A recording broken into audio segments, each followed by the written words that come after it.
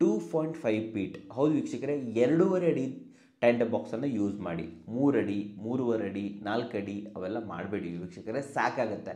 So ಅದರ ಬದಲು ದಯವಿಟ್ಟು ಎರಡೂವರೆ ಅಡಿದು ಯೂಸ್ ಮಾಡಿ. ಎತ್ತರ ಬಂದುಬಿಟ್ಟು ಎಂಟು ಇಂಚು ಅಥವಾ ಹತ್ತು ಇಂಚಿನ ಟ್ಯಾಂಡಮ್ ಬಾಕ್ಸನ್ನು ಯೂಸ್ ಮಾಡಿ.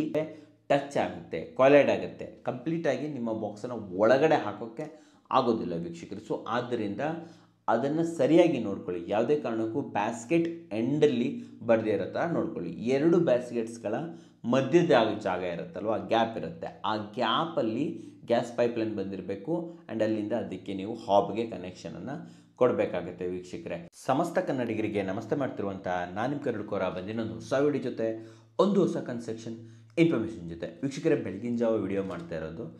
ಸ್ವಲ್ಪ ನಿದ್ರೆಗಣ್ಣಿರ್ಬೋದು ದಯವಿಟ್ಟು ಕ್ಷಮಿಸಿ. ಆ್ಯಂಡ್ ದಯವಿಟ್ಟು ವಿಡಿಯೋ ಶೇರ್ ಮಾಡಿ ವೀಕ್ಷಕರೇ. ನೋಡಿ ಬೆಳಗಿನ ಜಾವ ನಾನು ನಿಮಗೋಸ್ಕರ, ನನಗೋಸ್ಕರ ವಿಡಿಯೋ ಮಾಡ್ತಾ ಇದ್ದೀನಿ. ದಯವಿಟ್ಟು ವಿಡಿಯೋ ಶೇರ್ ಮಾಡೋದನ್ನು ಮರಿಬೇಡಿ. ಓಕೆ ಸೊ ಮ್ಯಾಟ್ರಿಗೆ ಡೈರೆಕ್ಟಾಗಿ ಬಂದುಬಿಡ್ತೀನಿ. ಲಾಸ್ಟ್ ಟೈಮ್ ಮನೆ ಬಗ್ಗೆ ಫುಲ್ ಮನೇದು ಹೇಳಿದ್ದೆ. ಇಂಡಿವಿಜುವಲ್ ಕಿಚನ್ ಬಗ್ಗೆ ಹೇಳ್ತಾ ಇದ್ದೀನಿ. ಕಿಚನಲ್ಲಿ ಯಾವ್ಯಾವ ರೀತಿ ಮಿಸ್ಟೇಕ್ಸ್ಗಳು ಮಾಡ್ತೀರಾ ಅಂತ ಹೇಳ್ಬಿಟ್ಟು. ಆ್ಯಂಡ್ ಇದನ್ನು ನೀವು ಈಗಲೇ ಇಂಪ್ರೂವ್ಮೆಂಟ್ ಮಾಡ್ಕೋಬೋದು. ಮೊದಲನೇದಾಗಿ ಗ್ರೈಂಡರ್ ಪ್ಲೇಸ್ ಹೌದು ವೀಕ್ಷಕರೇ? ಮಿಕ್ಸಿಗೆ ಒಂದು ಪ್ಲೇಸ್ ಇರುತ್ತೆ, ಚಿಕ್ಕದಾಗಿರುತ್ತೆ ಎಲ್ಲೊಂದು ಕಡೆ ಇಟ್ಬಿಡ್ತೀರ? ಆದರೆ ಗ್ರೈಂಡರ್ಗೋಸ್ಕರ ನೀವು ಒಂದು ಪ್ಲೇಸನ್ನು ಮಾಡಿಟ್ಕೊಳ್ಳೇಬೇಕು. ಯಾಕಂತಂದರೆ ಗ್ರೈಂಡರ್ ಸ್ವಲ್ಪ ದೊಡ್ಡದಾಗಿರೋದ್ರಿಂದ ಅದನ್ನು ನೀವು ಡೈರೆಕ್ಟಾಗಿ ಎತ್ಬಿಟ್ಟು ಕಿಚನ್ ಕೌಂಟ್ರ್ ಮೇಲೆ ಇಟ್ಕೊಳ್ಳೋಕ್ಕಾಗೋದಿಲ್ಲ ಅದನ್ನೆಲ್ಲಾದರೂ ಸೈಡಲ್ಲಿ ಇಡಬೇಕಾಗತ್ತೆ. ಸೊ ಅದಕ್ಕೋಸ್ಕರ ನೀವು ಒಂದು ಸರಿಯಾದ ಪ್ಲೇಸನ್ನು ಗ್ರೈಂಡರ್ಗೋಸ್ಕರ ಕ್ರಿಯೇಟ್ ಮಾಡ್ಕೋಬೇಕಾಗುತ್ತೆ.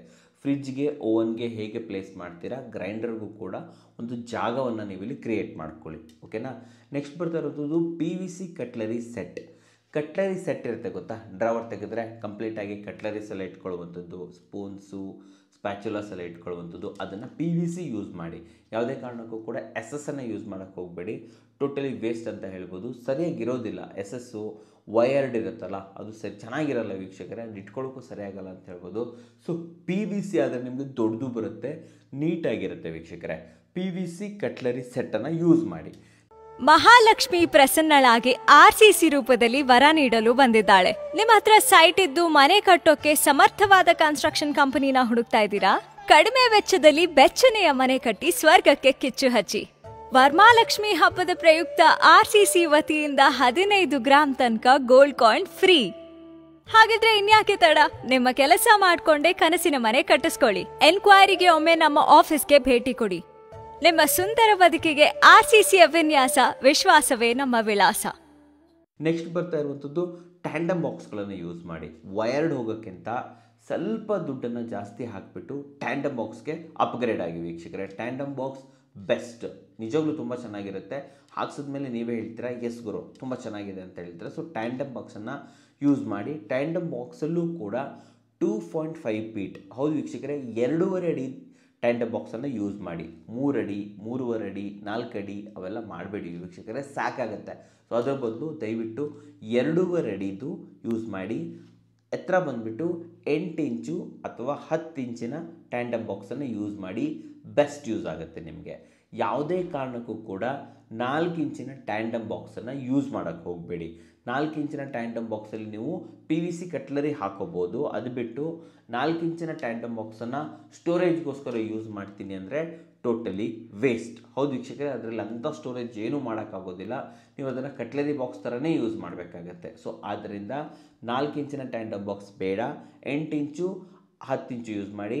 ಆರು ಇಂಚು ಕೂಡ ಅಷ್ಟೊಂದು ಯೂಸ್ ಆಗೋದಿಲ್ಲ ಅನ್ಕೊತೀನಿ. ಎಂಟು ಇಂಚ್ ಇದೆಯಲ್ಲ ಇದು ಸ್ಟ್ಯಾಂಡರ್ಡ್. ಸೂಪರ್ ಅಂತ ಹೇಳ್ತೀನಿ.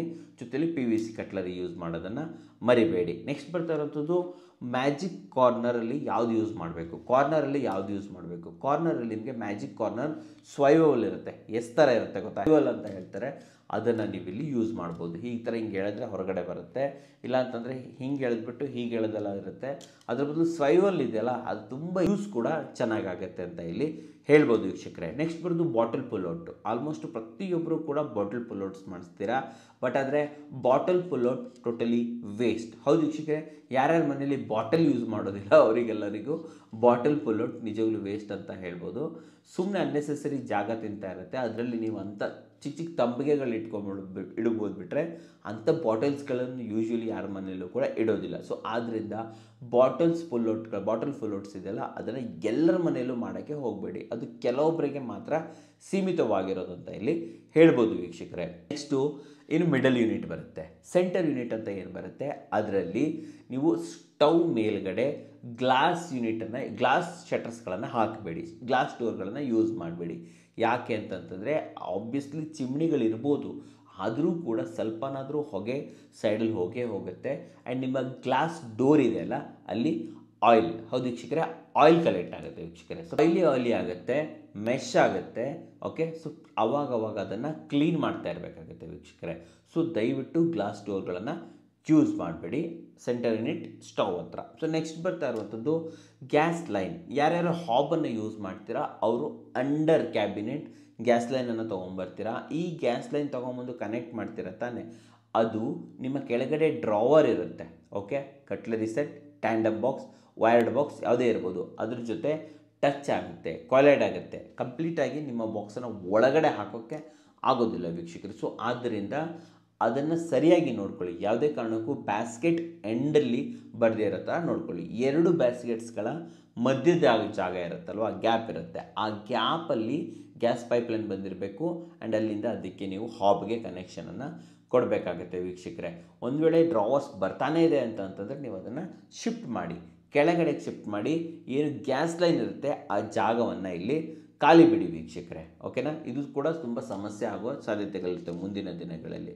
ನೆಕ್ಸ್ಟ್ ಬರ್ತಾ ಇರೋಂಥದ್ದು ಪ್ಲಗ್ ಪಾಯಿಂಟ್ಗಳು, ಓಕೆ? ಕಿಚನಲ್ಲಿ ಎಷ್ಟು ಪ್ಲಗ್ ಪಾಯಿಂಟ್ ಬೇಕು? ನೀವೇನು ಮಾಡ್ತೀರಾ? ಒನ್ ಟೂ ತ್ರೀ ಮೂರು ಪ್ಲಗ್ ಪಾಯಿಂಟ್ಗಳನ್ನು ಇಟ್ಬಿಡ್ತೀರಾ. ಯೂಶ್ವಲಿ ನಾನು ನೋಡಿದ್ದೀನಿ ವೀಕ್ಷಕರೇ, ಮೂರೇ ಮೂರು ಪ್ಲಗ್ ಪಾಯಿಂಟ್ಗಳನ್ನು ನೀವು ಪ್ರೊವೈಡ್ ಮಾಡುವಂಥದ್ದು.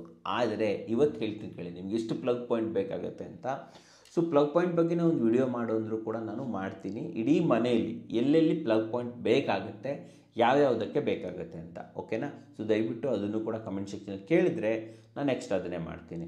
ಸೊ ಫಸ್ಟ್ ಬಂದುಬಿಟ್ಟು ವಾಟರ್ ಪ್ಯೂರಿಫೈಯರ್ಗೆ ಒಂದು ಪ್ಲಗ್ಗು ಪರ್ಮನೆಂಟ್ ಪ್ಲಗ್ಗು ಮಿಕ್ಸಿ ಮತ್ತು ಗ್ರೈಂಡರ್ ಯೂಸ್ ಮಾಡೋದಕ್ಕೆ ಒಂದು ಪರ್ಮನೆಂಟ್ ಪ್ಲಗ್ಗು ಓವನ್ ಯೂಸ್ ಮಾಡೋದಕ್ಕೆ ಸಿಕ್ಸ್ಟೀನ್ ಎಮ್ಸ್ದು ಒಂದು ಪರ್ಮನೆಂಟ್ ಪ್ಲಗ್ಗು ಫ್ರಿಜ್ಗೆ ಸಿಕ್ಸ್ಟೀನ್ ಎಮ್ಸ್ದು ಒಂದು ಪರ್ಮನೆಂಟ್ ಪ್ಲಗ್ಗು ಕುಕ್ ಟಾಪ್ ಮತ್ತು ರೋಟಿ ಮೇಕರನ್ನು ಮಾಡೋದಕ್ಕೆ ಟೆಂಪ್ರರಿ ಪ್ಲಗ್ಗು ಟೆಂಪ್ರರಿ ಅಂತಂದರೆ ಯಾವುದಕ್ಕೆ ಬೇಕಾದರೂ ಯೂಸ್ ಮಾಡ್ಕೋಬೋದು ಓಕೆನಾ ಕುಕ್ ಟಾಪ್ ಮತ್ತು ರೋಟಿ ಮೇಕರ್ಗೆ ಸ್ಟವ್ ಮತ್ತು ಹಾಬನ್ನು ಹಾಕಿರ್ತೀರ?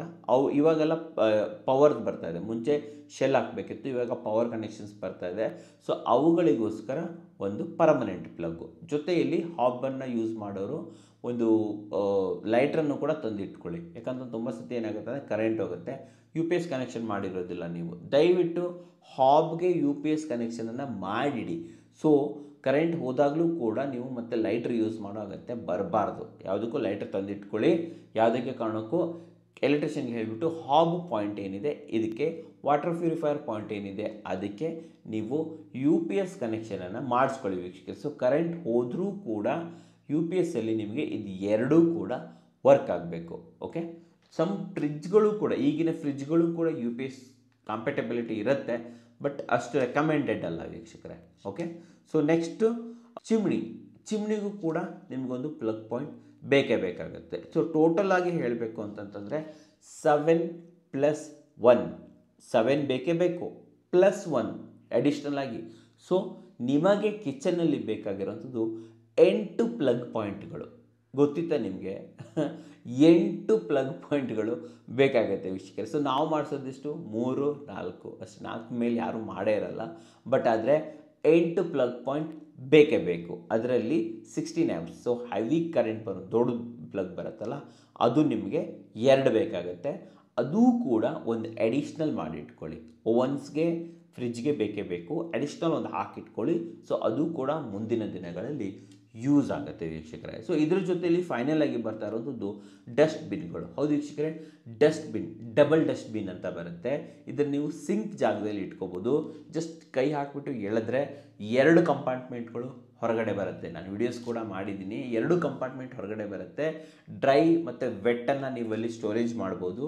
ಜೊತೆಯಲ್ಲಿ ಏನು ಡಸ್ಟ್ಬಿನ್ ಇರುತ್ತೆ, ಅದು ಹೊರಗಡೆ ತೆಗಿಬೋದು ನೀವು ಆ್ಯಕ್ಚುಲಿ ಓಕೆನಾ ಹಾಗೆ ಹೊರಗಡೆ ತೆಗೆದುಬಿಟ್ಟು ಅದನ್ನು ಯೂಸ್ ಕೂಡ ಮಾಡ್ಬೋದು.